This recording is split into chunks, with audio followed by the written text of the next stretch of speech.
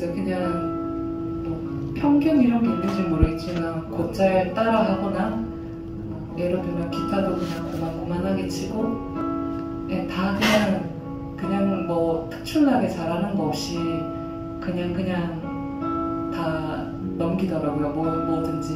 근데 이게 어, 조금 어렸을 때는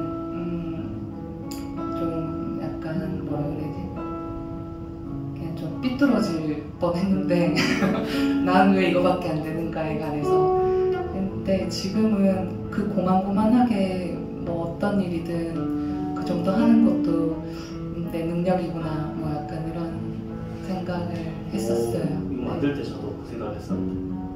부담이 아유, 진짜. 제가 요즘 뭐가 대부분 집에 있잖아요. 집에 있으면 뭐 보는 게 SNS나 아니면 뭐 TV나 이런 거 보고 있으면 세상이 언제부턴가 굉장히 훌륭하고 뛰어나고 잘생기고 능력 있는 사람들과 그 외의 사람들 두 종류밖에 없는 것 같은 거예요. 이 세상이.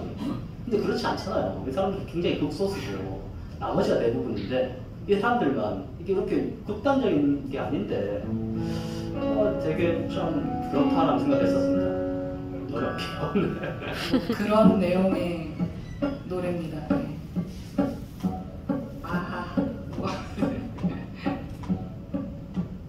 잘 마.